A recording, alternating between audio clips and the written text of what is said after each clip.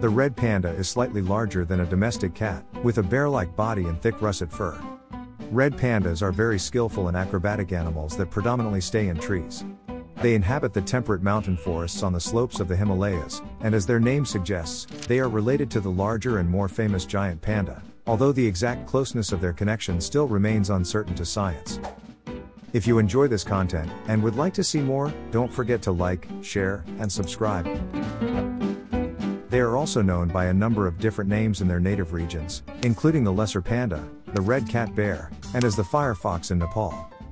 Red pandas have reddish brown stripes that run down either side of their white muzzle, along with alternating light and dark rings on their tails. They have semi-retractable claws to aid climbing and stability amongst the branches, and strong jaws which they use to chew on bamboo. Their body is covered in dense fur, which helps to keep them warm during the cold winter. Thick and woolly fur on the soles of their feet helps to keep their feet warm, and also prevents them from slipping on the wet branches. Red pandas spend the daylight hours sleeping in the tree branches with their long, bushy tail wrapped around them to keep them warm. Although they are known to feed in the trees, they usually come down to the ground after dusk to begin foraging in the safety of the darkness. Their diet mainly consists of acorns, berries, grubs, and birds' eggs. The red panda is a nocturnal and generally solitary animal with the exception of males and females coming together to mate.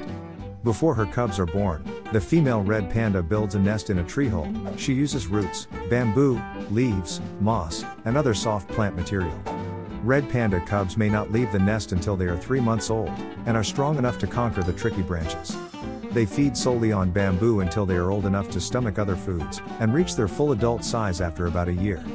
Red pandas have been admired by people for years, but many of the experiences that we have with them are in zoos and animal institutions, as these rare and secretive animals can be incredibly hard to spot in the wild.